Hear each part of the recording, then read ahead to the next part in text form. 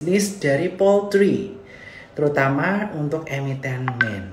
Tetapi sebelum kita undang pada malam hari ini, kita akan market update terlebih dahulu. Jadi IHSG hari ini ditutup melemah sebesar 1,31 persen menjadi di angka 4934 dan tentu saja hari ini IHSG telah berada di bawah MA 100-nya. Jadi MA 100 IHSG ini saya perlihatkan di sekitaran 4955 dan saat ini IHSG berada di bawahnya yaitu di angka 4934. Dan tentu saja skenario inverted head and shoulders seperti ini. Ini shoulders head dan shoulders ini bisa terjadi jika IHSG tembus 4800. Sehingga buat para cuan troopers sekalian, mohon perhatikan money manajemennya di saat kondisi market seperti ini. Karena market masih potensi untuk terkoreksi. Karena tentu saja seperti diketahui saat ini bad news sudah hadir semua ya. Dan bahkan Ibu Sri Mulyani mengatakan bahwa Indonesia sudah pasti resesi. Di mana di Q2 kemarin kita mencatatkan pertumbuhan minus 5,32% dan di kuartal 3 ini diperkirakan sekitar antara minus 1% sampai minus 2 poin sekian persen. Sehingga jelas bahwa ISG uh, eh, kemungkinan akan lanjut terkoreksi. Belum lagi ada berita negatif mengenai second wave COVID, nggak hanya di Indonesia, tapi di belahan dunia lainnya. Nah, tetapi tentu saja seperti saya sampaikan sebelumnya sebagai seorang investor, kita harus terus belajar. Dan di malam hari ini kita akan belajar mengenai peluang sektor poultry di PSBB jilid 2 dan tentu saja dengan emiten yang luar biasa yang udah tidak asing di telinga teman-teman semuanya yaitu MAIN atau PT Malindo Feed Mill. Tidak berlama-lama lagi, saya akan membacakan profil dari PT Malindo Feed Mill Tbk. PT Feed Milk Tbk adalah perusahaan terbatas nasional yang bergerak di industri pakan ternak. Pada awal berdirinya di tahun 1997, perusahaan ini memiliki nama PT Jimtek Feed Mill Indonesia. Perusahaan mulai kegiatan komersialnya sejak tahun 1998 dengan ruang lingkup kegiatan perusahaan terutama adalah berusaha dalam bidang industri pakan ternak dan peternakan anak ayam usia sehari atau DOC. Perusahaan dalam menjalankan usaha bisnisnya membagi kegiatannya menjadi empat divisi, yaitu ada pakan ternak, pembibitan ayam, divisi peternakan ayam pedaging atau ayam broiler, dan tentu saja divisi, divisi makanan olahan. Nah, saya juga akan membacakan profil dari pembicara kali ini yang tidak kalah spesial, yaitu Mr. Juhwa yang tidak kalah spesial pada hari ini yaitu merupakan direktur dari perseroan PT Malindo Feed Mill atau PT Main dan beliau ini merupakan warga negara Malaysia dengan usia 41 tahun. Dan beliau telah menjabat sebagai direktur perusahaan sejak 11 Juni 2015 berdasarkan RUPST tahun 2014. Beliau mengenyam Bachelor of Business dari Victoria University of Melbourne dan beliau memulai karirnya di perusahaan sebagai marketing manager dari tahun 2002 sampai dengan 2008. Kemudian pada tahun 2004, beliau dipercayakan untuk menjabat posisi Deputy CEO di, di KSB Distribution PT Ltd. Dan beliau ini sudah sangat berpengalaman sekali di bidang poultry karena telah menjabat di bidang poultry dari tahun 2015 sekarang tidak berlama-lama lagi kita sampaikan atau kita sambut Mr. Juha dari PT Main.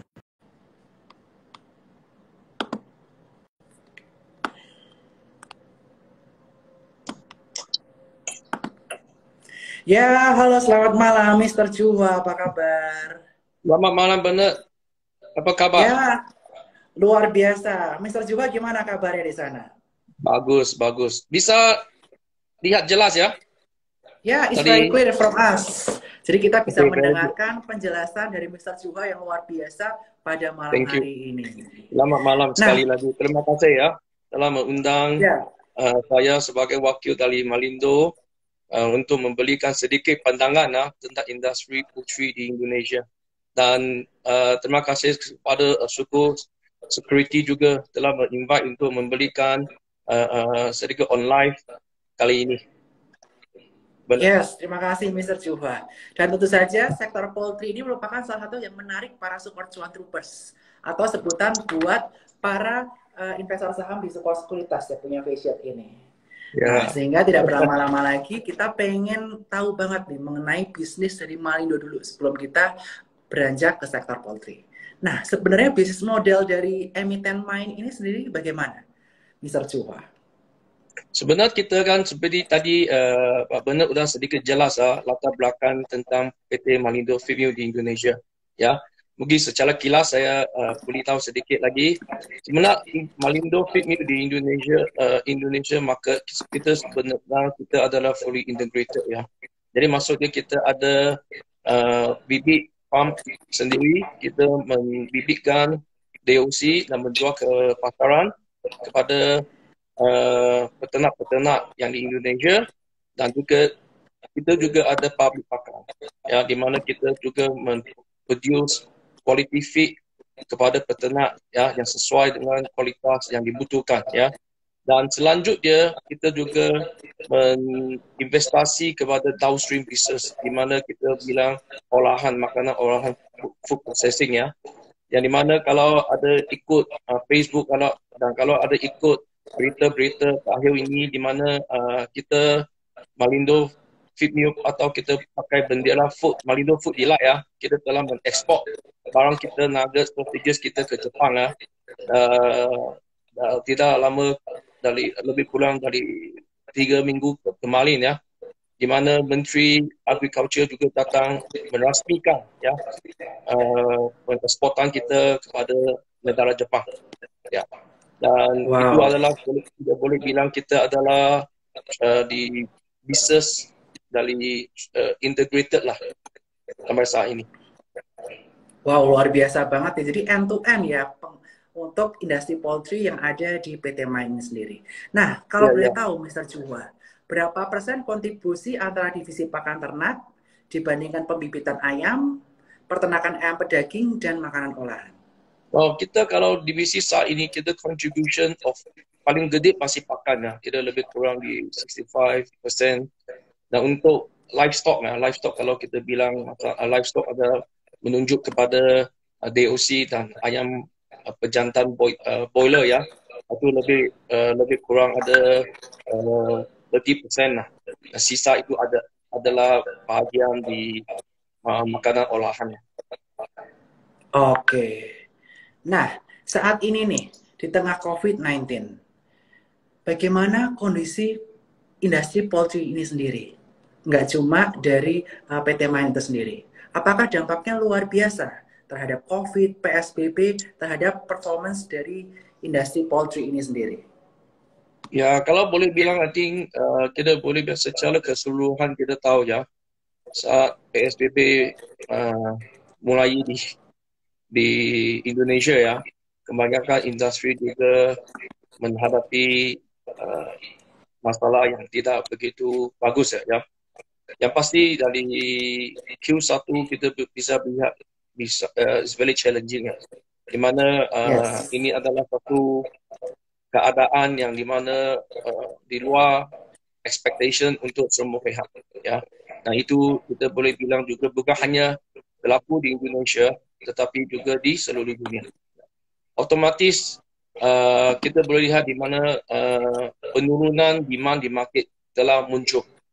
Tetapi kita masih syukur di mana poultry industry pada saat ini kita masih di bidang sebagai salah poultry sebagai salah satu industri essential ya. Di mana kita masih bisa dan halus dari pemerintah untuk menjalankan kegiatan kita ya setiap hari supaya bisa memenuhi permintaan di pasaran ya. Kalau kalau, kalau kita boleh bilangkan makanan ayam adalah the main dish ya untuk semua orang di Indonesia ya. Jadi ini yes, um, ya kita mau tak mau kita harus menjalankan tugas kita tetapi kita juga harus tidak lupa kita tetap ikut aturan-aturan dari uh, peraturan-peraturan dari PSBB lah untuk you know, untuk menjalankan kegiatan kita. Oke. Nah, Mr. Cui, Mr. Juhua nih, kemarin kita ya. melihat bahwa PSBB telah sedemikian berdampak kepada industri poultry, terutama main. Nah, apa yang telah dilakukan oleh PT Malindo sendiri guna mengatasi Q1, Q2 ketika COVID terjadi? What did you already did di semester 1 2020 ini? Oke, okay, kita boleh lihat pertama, oke, okay, the dampak yang kita hadapi pada Q1 adalah penurunan uh, uh, permintaan di pasaran, ya. Dan seperti yang tadi saya bilang ya kita adalah essential industry ya. Kita tetap harus menjalankan apa yang ada.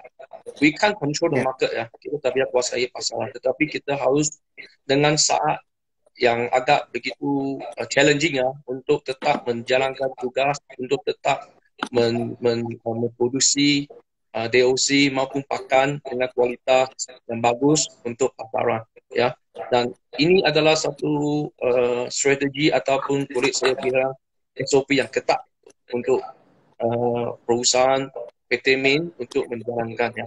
Ya otomatis seperti tadi saya bilang pasaran bukan kita bisa kuasai lah ya kita harus yes. uh, maintain dan ya seperti yang tadi uh, Pak Bernard juga bilang nampak masih ada di Q1 tetapi pada Q2 uh, kita sudah lihat keadaan sampai saat ini sudah mulai stabil dan kita uh, boleh uh, boleh bilang contoh dari uh, omset pakan ataupun dari omset olahan makanan Q2 kita melihat ada peningkatan yang luar biasa.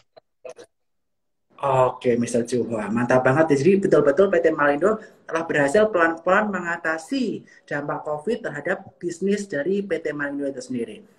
Ya, Tapi yang ingin kami tanyakan lagi nih Pak, saat ini PSBB jilid 2 digalakkan oleh pemerintah lagi, terutama pemerintah Jakarta, di mana sebagian besar demand permintaan tentunya dari kota Jakarta ini sendiri, Mr. Jua.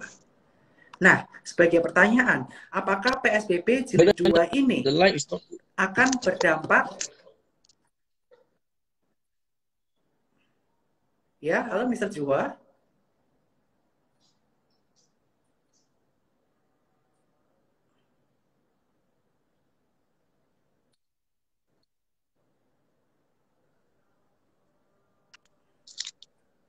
Ya, halo, selamat malam Mr. Juha. Uh, sorry benar, aku sudah line putus. Ya, ya, sudah jelas. Oke, okay, baik, Oke. Okay.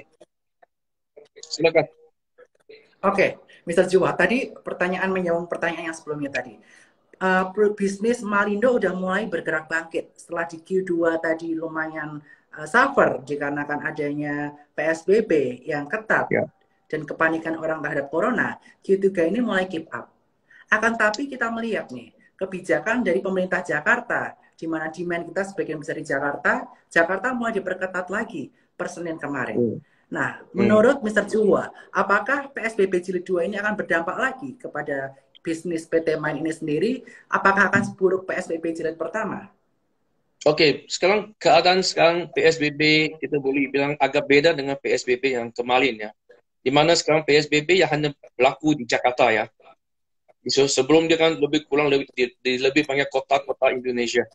Dan saat ini kalau kita boleh lihat main business kita bukan hanya fokus di Jakarta. Kita ada di seluruh Jawa Island, kita ada di Sulawesi, kita ada di uh, Kalimantan, kita juga ada di Lampung dan Sumatera Island ya. Jadi kalau boleh bilang impact untuk hanya di Jakarta tidak begitu ber, uh, tidak begitu berat ya kalau untuk bidang secara keseluruhan. Benar. Tetapi uh, kita bisa lihatlah uh, SPB yang kedua ini uh, kebanyakan orang juga sudah ada pengalaman ya. It's not a surprise anymore ya. Always a surprise create problem kan. Jadi, kali ini kedua kita lihat, kita boleh lihat ya kita lebih tenang ya. Kalau dibanding dengan PSBB yang pertama. Oke, jadi PSBB ini yang membedakan sekarang cuma Jakarta saja. Sedangkan di PSBB ya. tertentu hampir seluruh Indonesia. Sehingga ya. demand tidak begitu kali kan? Ya, benar sekali. Nah, kalau boleh tahu Pak, kontribusi Jakarta terhadap demand secara nasional itu berapa persen? So, I think uh, very small. I think we are more less than less than 10% kecil sekali. Less than percent. So jadi ini masih benar-benar masih bisa menjalankan bisnisnya ya Pak ya walaupun Jakarta Ya, saja ya. terdampak. Itu ya. Jakarta kita bilang Jabodetabek lah ya. Kalau yang di, hanya di Jakarta kan, di luar kan masih bisa menjalankan kegiatan seperti biasa kan. Tetapi tak uh, seperti, tidak, boleh bilang tidak seperti biasa lah. Tetapi masih bisa mengadakan kegiatan masing-masing.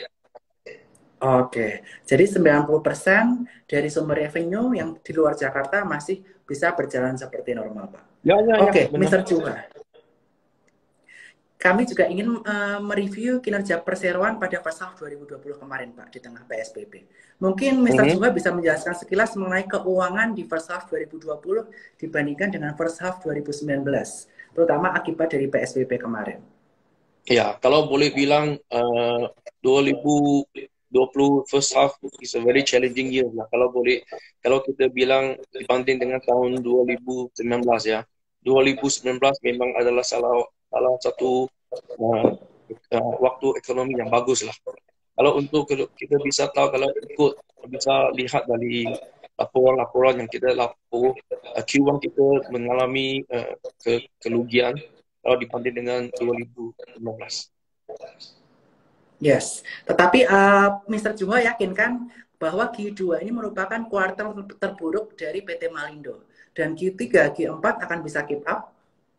Sampai saat ini kita masih optimistik ya. Kita boleh lihat di mana tu seperti tadi saya bilang uh, omset uh, pakan maupun olahan makanan sudah mulai uh, ke- meningkat lah. Dan keadaan sekarang kita lihat uh, mungkin lebih stabil di harga pasaran.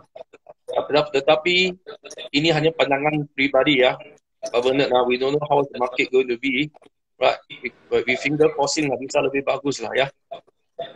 Yes, yes, mudah-mudahan ya Pak. Apalagi sekarang kebutuhan pakan kita sebagian besar juga ayam ya Pak. Masyarakat Indonesia suka banget sama ayam dan tentunya di tengah Ya. PSBB ini di seluruh Indonesia yang daya belinya mulai meningkat, ada peningkatan, mereka Hmm. bisa mulai makan ayam. Nah, uh, Mr. Juhwa, kembali ke pertanyaan mengenai bisnis PT Main. Di Hmm. Q3, Q4 tentunya banyak perubahan strategi yang akan dilakukan oleh PT Main untuk mengupgrade kinerjanya untuk menutupi Q1 dan Q2. Nah, strategi apa yang Hmm. diterapkan oleh PT Main ini di second half 2020 untuk mendapatkan hasil yang lebih baik daripada first half 2020? Mungkin saya boleh bilang si uh, okey pertama kita seperti tadi saya sudah sampaikan kita tetap akan menkomit ya. Menkomit mem- memberikan komitmen kita kepada pasaran atau memberi komitmen kepada pelanggan-pelanggan kita ya. Dari segi kualiti dari segi delivery kan dan sebagainya. Dan kita boleh lihat juga di Q1 Q2 pada waktu Q1 itu adalah uh, pandemic COVID ya. Dan juga adalah salah satu market shock ya. Di mana orang juga uh, uh, uh, new experience ya. Jadi kita bila kita boleh bilang kita lihat ada sedikit turunan di daya pembeli ya. Q2 onwards hingga saat ini kan seperti tadi saya sudah sampai uh, omset kita mulai kembali kepada uh, tahun 2019 ya. So we can see that the market is getting better. Tetapi selain daripada itu kita juga tetap uh, akan uh, menjaga pasar, menjaga uh, menjaga receivable, kita juga. Dan kita juga telah mempersiapkan beberapa uh, uh, produk yang baru uh, untuk uh, memberikan sebagai satu image ya di mana the innovation yang kita menjalankan. Wah, ada innovation yang di mana PT Main akan mengeluarkan produk baru nih Pak. Wah luar biasa. Pak. Ya. Nah, inovasinya kalau boleh dijelaskan produk apa nih Pak yang akan di- dikeluarkan oleh Main Oke, seperti supaya baik. market ingat sama Main dan membedakan sama uh, sektor poultry yang lain. Uh, okay, sebenarnya kalau dari segi uh, upstream business, upstream seperti yang farming dan pakan, kita saat ini kita uh, dalam meluncurkan pakan native chicken feed lah ya atau kita panggil ayam jongko jongko ya untuk pasaran yang walaupun is small tetapi the, the niche market tapi the the the, the attractive is, is there ya sebab kita boleh lihat kita bisa tahu untuk pakan uh, ternak ayam kita sudah ada kan. Seperti kita juga ada pakan bebek, kita juga dalam uh, men, men, men, apa seperti mempersiapkan untuk ayam pakan untuk khusus ayam kampung. Nah itu dari upstream. Tetapi untuk downstream kita juga dalam uh, dalam persiapan untuk melaunching nugget yang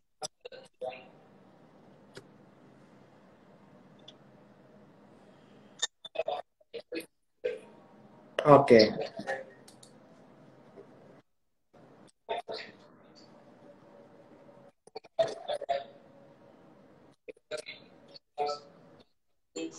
Benar bisa. Can you hear me? Halo Mr. Cuba, agak terputus. Halo, Bagaimana mungkin bisa dijelaskan? Untuk downstream, downstream kan? Downstream. Ya, okay, downstream, kita yes. sedang ya kita dalam persiapan untuk melaunching uh, ya uh, uh, uh, produk nama dia red ginger jahe merah rasa dia. Oh, red ya, ginger. Untuk, uh, untuk mengoptim uh, uh, waktu uh, saat ini COVID-19 ya, di mana kita juga ada tahu makan red ginger bisa bukan bisa prevent lah, itu mungkin bisa menolong sedikit lah. Untuk tumbuh kita ya. More more healthy more healthy for us. Yes, yes. So ada bakal ada dua inovasi ya, misal Juhwa yang akan dilakukan oleh PT MAN, ya, yaitu baik dari sisi upstream yang kita mulai produce native chicken dan juga downstream di mana akan produksi produk baru. ya. Red ginger yang berupa nugget ya. nugget. Yes. Ya. Itu yang akan membedakan main daripada kompetitor lainnya. Nah, ya. Mr. Junghua, kalau boleh tahu nih, pembagian antara B2B dan B2C dari PT Main sendiri berapa persen Pak revenue-nya? Saya kita lebih banyak to B2C saat ini bisnes kita. I I can say it mainly okay. mainly 100%. Kita lebih banyak langsung ke consumer. Almost kena. Ya ya, you you oh. mean B2 That's... Your B2B refer to sebagai.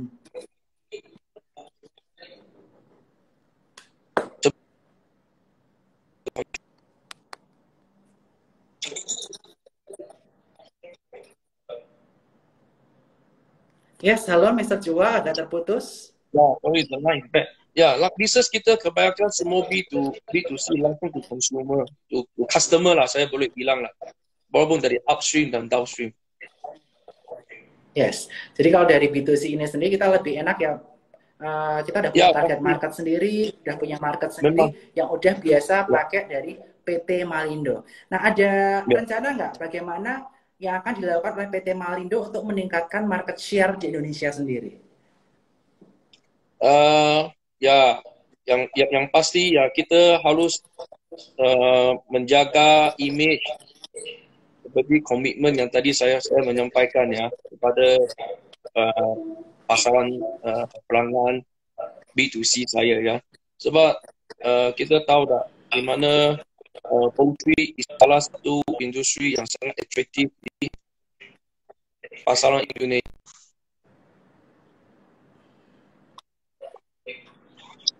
Ya, okey benar. Ya, jadi ya, kita halo, harus uh, yes. yang, yang yang pertama kita harus komit dengan komitmen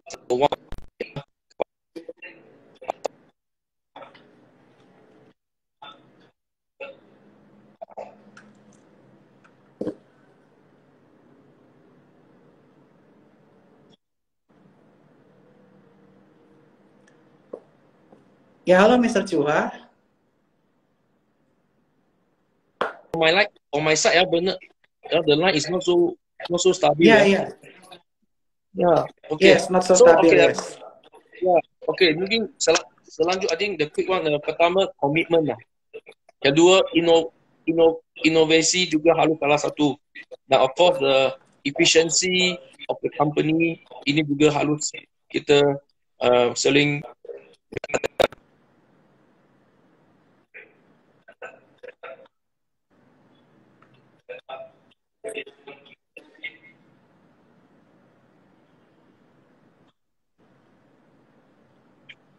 Ya.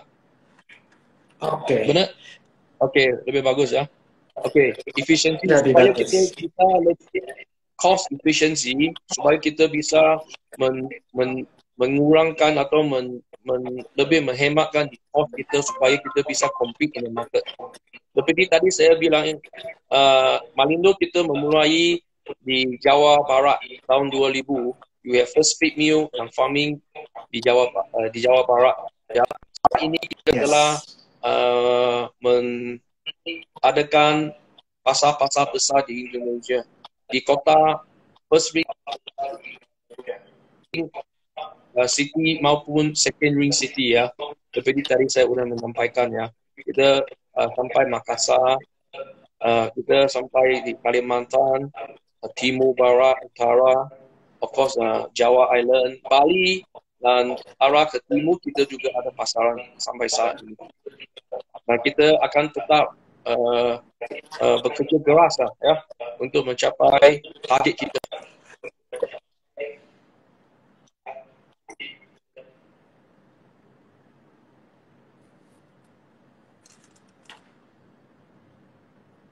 Oke, Mr. Juhwa. Terima kasih buat penjelasannya. Yes? Ya. Sudah pretty clear sekarang, cuma tadi agak ngadat-ngadat. Nah, buat teman-teman okay. semua, udah mendengarkan penjelasan dari Mr. Juhwa, nanti kita buka pertanyaan juga. Buat lima orang ya. penanya hari ini kepada Mr. Juhwa, akan mendapatkan face shield dari Support Sekuritas langsung, Support Cuan Troopers. Dan buat teman-teman yang belum membeli saham main dan belum punya rekening Support Sekuritas, teman-teman bisa buka rekening di eform.supportsekuritas.com atau yang ada di pin message atau ada di profil kita juga buka rekening dan teman-teman jika tertarik membeli saham main yang potensinya sangat luar biasa ini segera buka rekening di sebuah sekuritas dan beli sahamnya menggunakan spot new generation. Nah, tadi uh, eh, Mr. Juha menceritakan mengenai semoga kita bisa mencapai target 2020 dari PT Malindo itu sendiri. Nah, bagaimana projection performance dari PT Malindo atau Main di second half 2020 ini?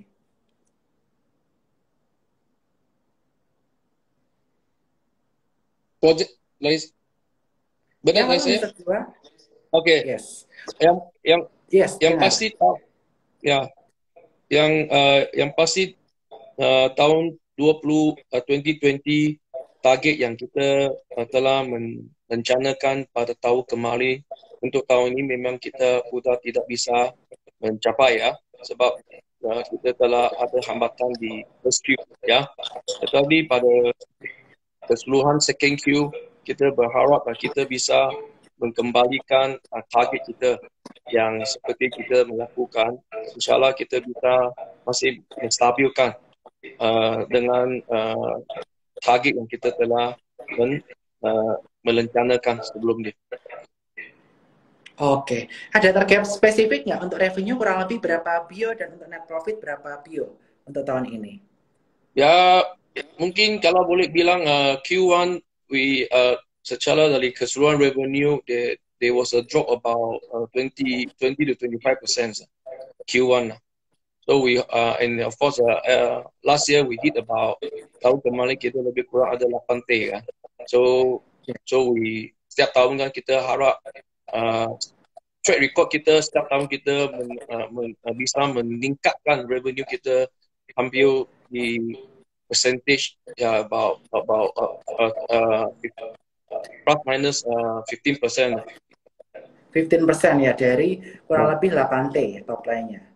Wow, luar biasa banget. Mudah-mudahan bisa kejadian dan tentunya buat teman-teman yang yakin bahwa PT Malindo ini bisa menghasilkan revenue 8T dan profit margin kurang lebih 15% atau sekitar uh, kurang lebih sekitar 100 miliar ya. Kurang lebih untuk net profit. Ya. Teman-teman yeah. bisa membeli saham main. Nah, uh, Mr. Juwa, tadi Mr. Juwa juga mengatakan mengenai efisiensi juga terus dilakukan oleh PT Main. Efisiensi seperti apakah yang telah diterapkan PT Main saat ini guna untuk meningkatkan efektivitas dan meningkatkan profit margin dari company di tengah lesunya penjualan di Q2 kemarin? Oke, okay, uh, efisiensi kan berdasar dari dari banyak uh, dari banyak uh, divisi ya, ya bukan hanya satu ya, dari purchasing, dari produksi, dari uh, penjualan ya. Salah satu contoh bukti salah satu contoh kita boleh bilang dari uh, uh, uh, purchasing ya, bagaimana kita memberi bahan baku ya. Uh, di mana kita melihat peluang uh, di mana tahun ini di mana uh, harga jagung di uh, di Indonesia uh, uh, harga lebih sangat kompetitif ya dan kita yes. telah mengambil salah satu keputusan untuk membeli lebih lebih banyak ya tetapi ini juga harus uh, dengan ada uh, segi strong strong cash flow lah ya supaya kita bisa mencapai kan ini salah satu efisiensi kita lihat momentum yang bagus lah ya otomatis kalau di segi production uh, kita sering ada set KPI untuk mencapai untuk mencapai efisiensi yang yang yang halus kita capai. Dan kita never stop monitoring lah uh, dari segi itu ya. Nah, itu adalah memang tugas kita. Dan selain daripada selain daripada itu kita juga ada ino uh, kita juga menginvestasi ke, uh, uh, di segi elektronik uh, uh, electronic response ya, di mana uh, zaman saat ini elektronik telah menghematkan banyak waktu ya dan bisa hemat yes. dan efisiensi dari communication ya dari segi uh, customer uh, customer to us atau itu ke supplier ya. Kalau ada respon uh, dulu kan mungkin zaman dulu belum ada teknologi teknologi yang begitu bagus dan mungkin butuh dua tiga hari ya. Tapi zaman sekarang kita dalam satu jam kita bisa menyelesaikan jika ada masalah-masalah uh, yang yang muncul ya. Supaya bisa mendapat bisa memberikan satu keputusan yang yang cepat dan dan bagus. Yes, luar biasa banget Mr. Juhwa. Hmm. Nah, kita sekarang akan buka pertanyaan buat para netizen, buat para calon trupes yang ingin bertanya, dipersilahkan dan teman-teman akan mendapatkan face shield cantik dari Sokol Sekuritas. Pertanyaan pertama dari Joseph Nathan. Apakah ada harapan dari manajemen Malindo terhadap kebijakan-kebijakan dari pemerintah saat ini dan yang akan datang? Supaya hmm, revenue okay. dari Mine akan tetap stabil yang tentunya akan berdampak kepada net profit dari PT Mine. Ya, untuk pertanyaan ini uh, sampai saat ini saya uh, kita boleh Malindo uh, kita sangat uh, apa uh, kita sangat bekerja sama atau kita sampai saat ini kita juga sangat menurut peraturan-peraturan yang diadakan atau di di uh, dipenyesuaikan oleh pemerintah. Uh, jadi uh, ini bukan satu, menurut saya bukan satu lagi uh, challenge ya. Sebab kita kita juga kadang-kadang harus harus lihat dari banyak sisi ya. Uh, daripada uh, um, uh, supaya kita bisa mencapai target ya keinginan dari kita maupun dari pemerintah. Oke, jadi kolaborasi dan komunikasi terus terus dilakukan oleh PT ya, Malindo pasti. kepada pemerintah supaya tentunya Benar. kebijakan pemerintah dan kebijakan perusahaan akan berjalan seiring sehingga tentunya bisa mengoptimalisasi uh, performance dari perusahaan PT Malindo itu sendiri. Ya. Seperti itu jawabannya ya. Nah, pertanyaan kedua dari May Everyday. Ini pertanyaan bagus. Tadi uh, Mr. Juhua menyebutkan bahwa salah satu strategi untuk meningkatkan market share dan juga meningkatkan performance dari PT Mine yang pertama adalah komitmen komitmen kepada customer maupun kepada dari kepada supplier, kepada seluruh stakeholder dan pemerintahan. Kemudian yang kedua efisiensi. Dan yang ketiga tadi apa Pak? Karena tadi sedikit terputus. Oke, okay. mungkin inovasi Pak. Inovasi. Ketiga adalah inovasi. Ya, sebab kita melihat walaupun ya kita di bidang peternakan, ya orang banyak bidang mungkin kita adalah farmer kan, tetapi hari ini uh, teknologi-teknologi yang ada di bidang uh, di bidang peternakan sudah sangat advance ya. Jadi kita harus selik inovasi supaya kita bisa mencapai efisiensi, ya mencapai target yang yang yang yang maksimum lah.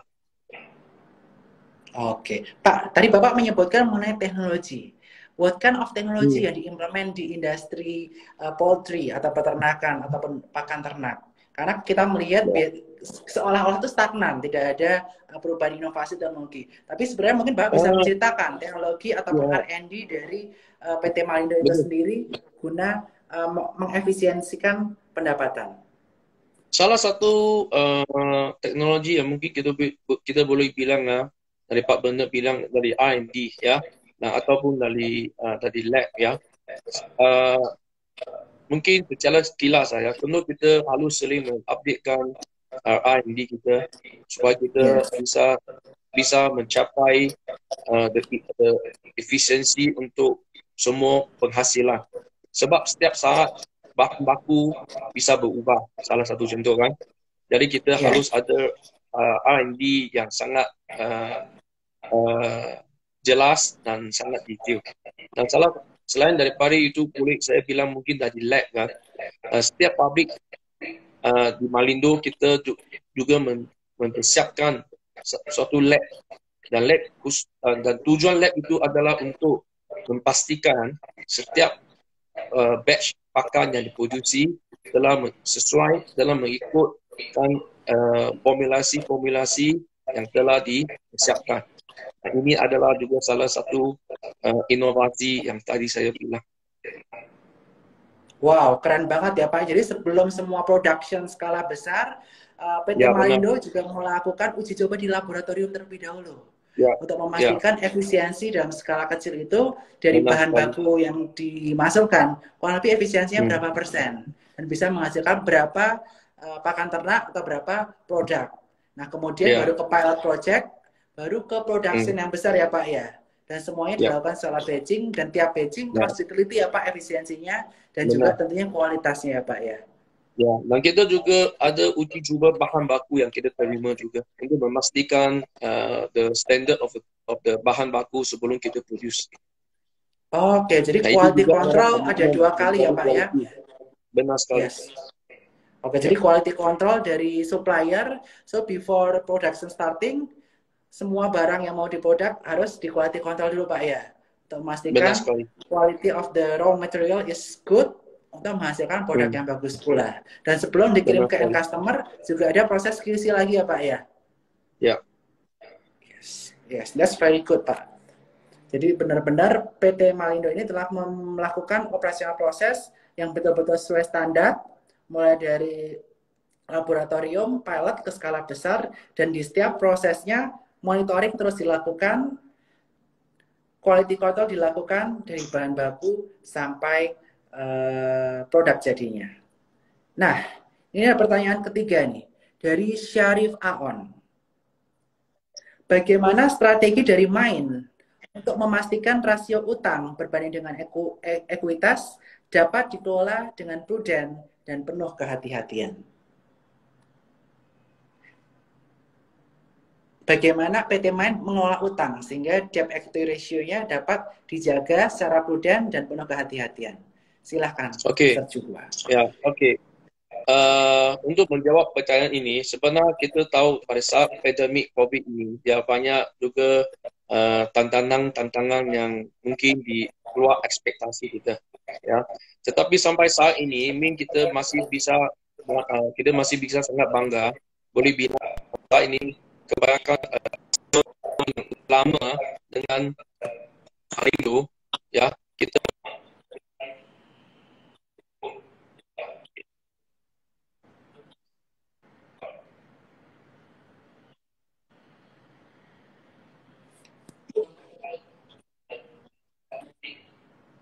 Ya, halo Mr. Jua. Mohon maaf terputus-putus. Ya, silakan. Bisa dilanjutkan uh, jawabannya berkaitan tentang pertanyaan debt equity ratio, bagaimana mengelola utangnya.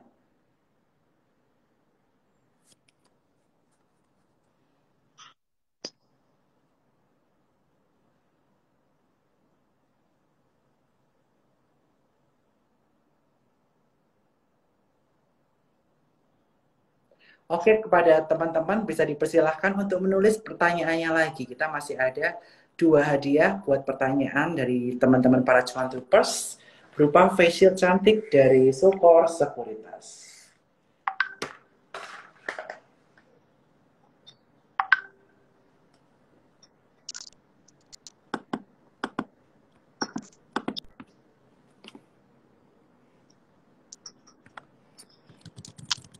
Ya, halo Mr. Jua.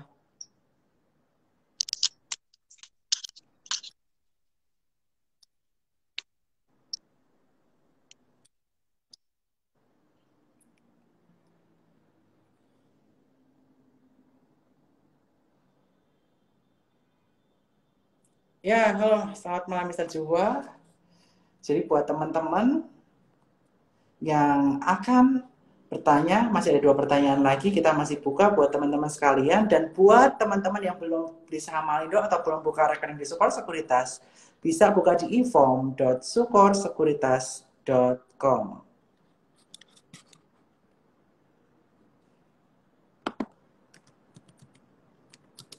Oke, Mr. Juha terputus. Kita cek lagi. Oke, jadi seperti saya saya samarkan lagi yang mengenai PT Malindo ini. Jadi PT Malindo tentunya lumayan terdampak di Q2 karena PSBB, utama PSBB secara nasional. Sehingga baik dari upstream maupun downstream yang mau dipakan ternak dan lain sebagainya itu cukup terdampak. Tetapi dari PT Malindo ini sendiri telah disampaikan tadi dengan PSBB jilid 2 tidak begitu terdampak karena hanya Jakarta saja yang mengalami PSBB jilid 2. Dan juga di PSBB jilid 2 ini di Jakarta saja kontribusi revenue terhadap PT MAN itu sendiri di Jakarta hanya sekitar 10%. Sehingga 90%-nya kemungkinan besar tidak terganggu. Dan pabrik yang ada di PT Malindo ini bukan di Jakarta juga, ada di Jawa Barat. Nah, kemudian mengenai target dari PT Malindo itu sendiri, ditargetkan tahun ini mendapatkan revenue atau top line sebesar 8 triliun dengan profit margin sebesar 15%. Atau kurang lebih net profit yang akan dihasilkan adalah sebesar 120 miliar. Dan tentunya Malindo saat ini uh, cukup menarik banget karena saat ini PT Malindo sudah lumayan terkoreksi cukup dalam. Dari titik tertingginya pernah mencapai 1000 di awal tahun 2020 ini di angka 1000 100 dan saat ini harganya hanya di sekitar 530 sehingga koreksinya cukup dalam dan menarik sekali untuk dikoreksi oleh teman-teman sekalian. Oleh Mr. Juha, kita lanjutkan Mr. Juha. Ya, kembali bisa ya. I think the nice bad. Yes, sudah lumayan clear. Mungkin bagaimana Mr. Juha bagaimana ya. dalam mengolah hutangnya?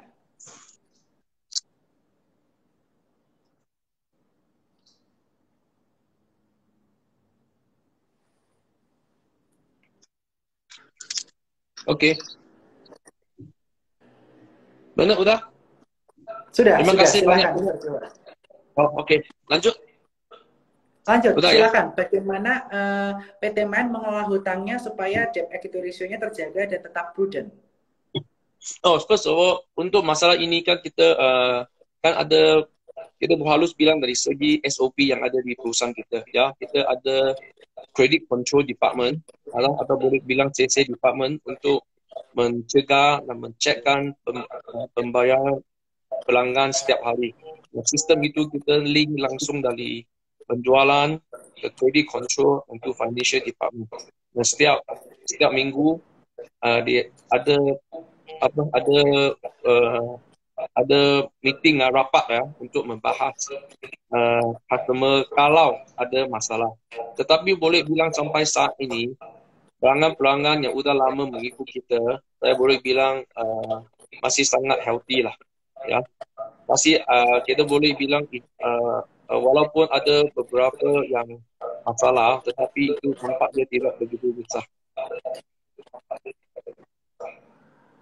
Oke, jadi betul-betul ada credit control department ya yang yang mengelola ya, utang dari supplier dan tentunya juga ya. mengecek kesehatan dari perusahaan itu sendiri. Benar sekali. Oke.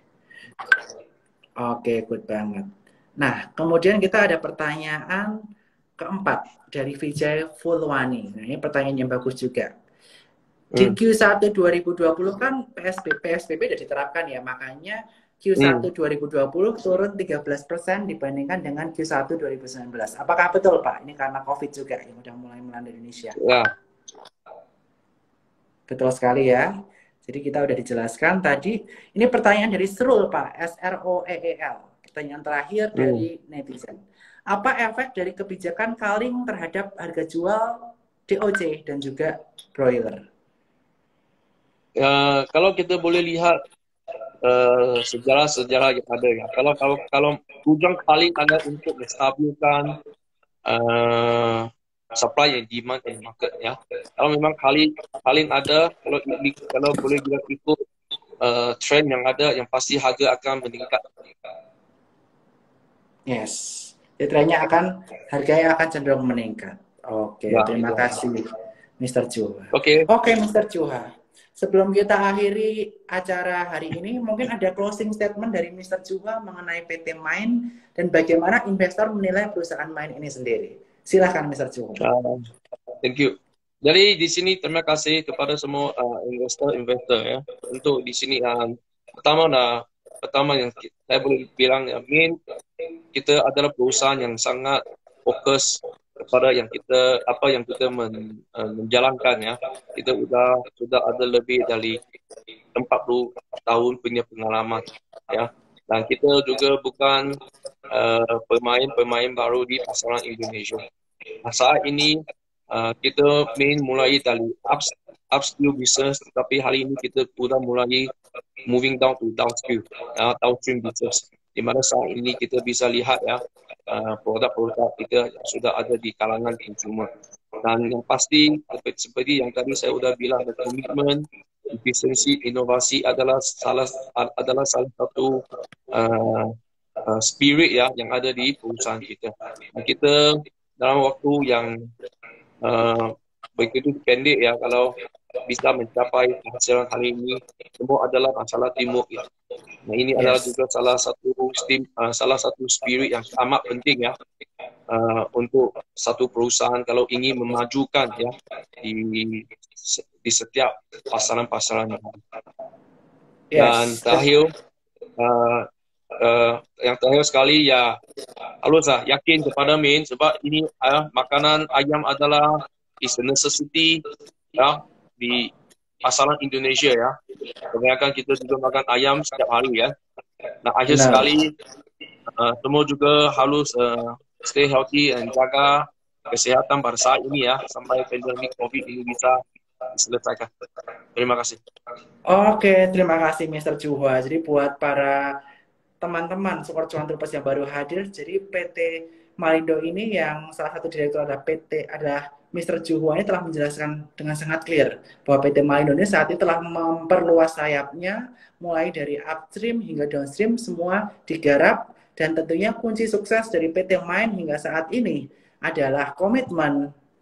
Kemudian apa tadi Pak? Inovasi dan juga efisiensi. Inovasi efisiensi. Dan efisiensi. Dan mudah-mudahan PT Malindo bisa mencapai target yang telah ditetapkan kurang lebih revenue 8 triliun dengan profit margin sekitar 15% sehingga net profit mudah-mudahan bisa 100 miliar dan PSBB jilid 2 ini tentunya tidak akan terlalu mempengaruhi PT Main karena seperti disampaikan Mr. Juwa tadi hanya 10% dari uh, revenue dihasilkan dari Jakarta sehingga masih banyak daerah lain yang tidak terdampak dengan PSBB bisa ya. mendulang revenue buat PT Main. Nah sekali lagi terima kasih buat Mr. Juwa buat ya. waktunya. Terima kasih buat Oke, PT Main. Salam hmm. buat keluarga dan buat uh, tim dan buat teman-teman hmm. yang belum buka rekening sekolah sekuritas bisa buka di eform.sekuritas.com dan buat yang udah tertarik untuk berinvestasi di perusahaan main bisa langsung beli sahamnya yaitu dengan kode MAIN. Dan kepada Mr. Juho nanti saya akan titip ke Anya, saya akan beli saya akan kirimkan uh, face dari Joan Troopers buat uh, Malindo manajemen dan buat uh, Mr. Juhwa tentunya. Sekali lagi terima kasih buat semuanya. Selamat terima kasih. Selamat malam, Pak. Yo. Ya, terima kasih. Bye.